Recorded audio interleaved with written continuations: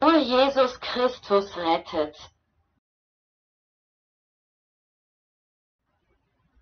Und sie wird einen Sohn gebären, und du sollst ihm den Namen Jesus geben, denn er wird sein Volk von seinen Sünden retten.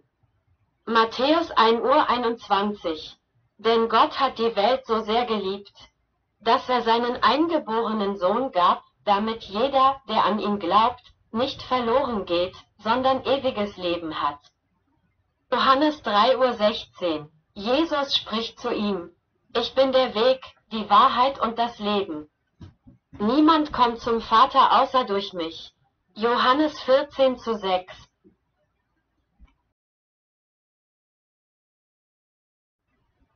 Doch in keinem anderen gibt es Erlösung, denn es gibt keinen anderen Namen unter dem Himmel, der den Menschen gegeben ist, durch den wir gerettet werden müssen. Apostelgeschichte 4 Uhr 12 Denn ich habe euch vor allem das überliefert, was ich auch empfangen habe, nämlich dass Christus gemäß der Schrift für unsere Sünden gestorben ist. Dass er begraben wurde und dass er am dritten Tag wieder auferstanden ist, gemäß der Schrift 1. Korinther 15 zu 3 minus 4. In ihm haben wir die Erlösung durch sein Blut, die Vergebung der Sünden. Gemäß dem Reichtum seiner Gnade, Epheser 1 zu 7.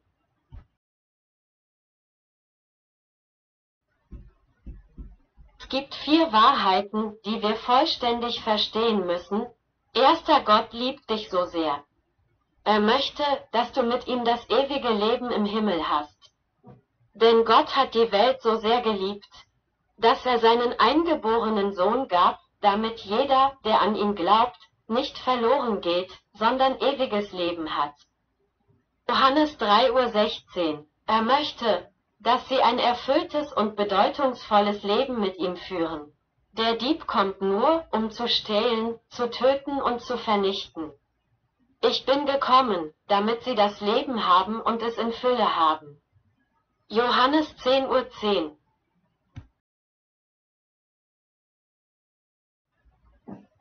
Trotzdem erleben viele Menschen kein sinnvolles Leben und sind sich nicht sicher, ob sie ewiges Leben haben, weil Zweite, der Mensch ist von Natur aus sündhaft. Deshalb ist er von Gott getrennt. Alle haben G-E-G-E-S-Ü-N-D-I-G-T. Denn alle haben gesündigt und die Herrlichkeit Gottes verfehlt. Römer 3 Uhr 23. Denn die Liebe zum Geld ist die Wurzel allen Übels. 1. Timotheus 6 Uhr 10. Der Lohn der Sünde ist der Tod. Denn der Lohn der Sünde ist der Tod. Römer 6 Uhr 23.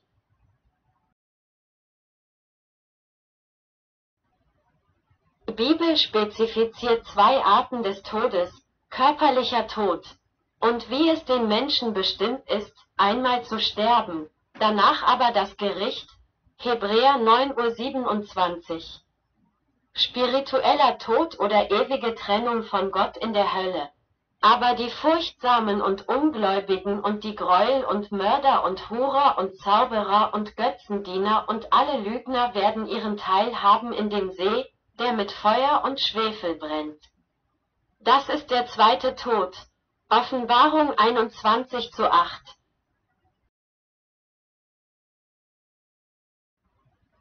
Wenn der Mensch aufgrund seiner Sünde von Gott getrennt ist, was ist die Lösung für dieses Problem?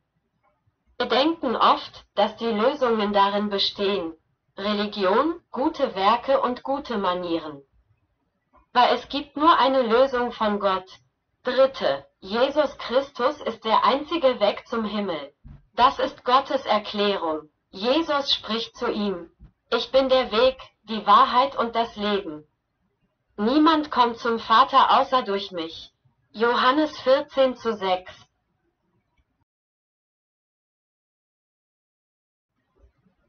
Bezahlte die volle Strafe für unsere Sünden.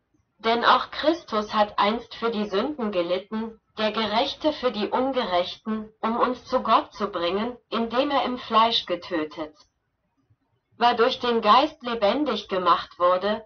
1. Petrus 3 Uhr 18. In ihm haben wir die Erlösung durch sein Blut, die Vergebung der Sünden, gemäß dem Reichtum seiner Gnade, Epheser 1 zu 7. Er hat das Versprechen des ewigen Lebens. Wer an den Sohn glaubt, hat ewiges Leben, und wer nicht an den Sohn glaubt, wird das Leben nicht sehen, aber der Zorn Gottes bleibt auf ihm. Johannes 3.36 Uhr.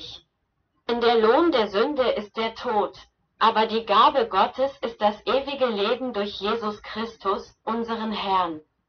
Römer 6.23 Uhr.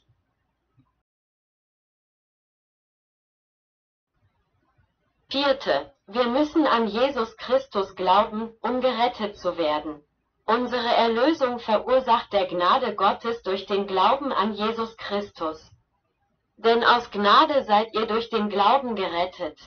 Und das nicht aus euch selbst, es ist die Gabe Gottes, nicht aus Werken, damit sich niemand rühme.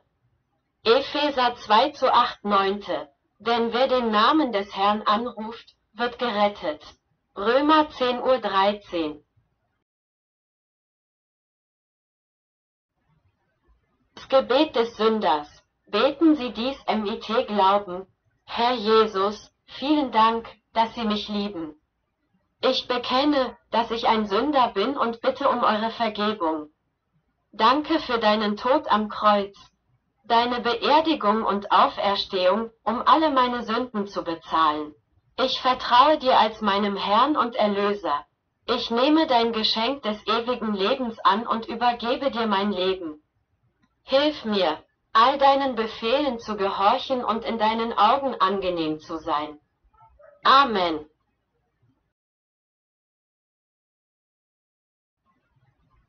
Wenn Sie auf Jesus Christus Vertrauen haben, ist Ihnen Folgendes passiert.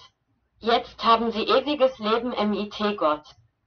Und dies ist der Wille dessen, der mich gesandt hat, dass jeder, der den Sohn sieht und an ihn glaubt, ewiges Leben habe und ich werde ihn am letzten Tag auferwecken. Johannes 6.40 Uhr. Alle eure Sünden wurden bezahlt und vergeben. Vergangenheit, Gegenwart, Zukunft. Aber dieser Mann setzte sich zur Rechten Gottes, nachdem er ein einziges Opfer für die Sünden dargebracht hatte. Hebräer 10.12 Uhr.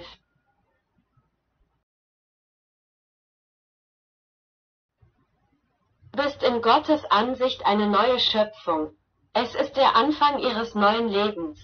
Wenn also jemand in Christus ist, ist er eine neue Schöpfung. Altes ist vergangen. Siehe, alles ist neu geworden. Zweite, Korinther 5 Uhr 17. Du wurde ein Kind Gottes. Aber so viele ihn aufnahmen, denen gab er Macht, Söhne Gottes zu werden, auch denen, die an seinen Namen glauben. Johannes 1 Uhr 12. Gute Werke sind für uns kein Weg zur Rettung, sondern ein Beweis oder eine Frucht unserer Rettung. Denn wir sind sein Werk, geschaffen in Christus Jesus zu guten Werken, die Gott zuvor bestimmt hat. Dass wir in ihnen wandeln sollen. Epheser 2.10 Gott schütze dich,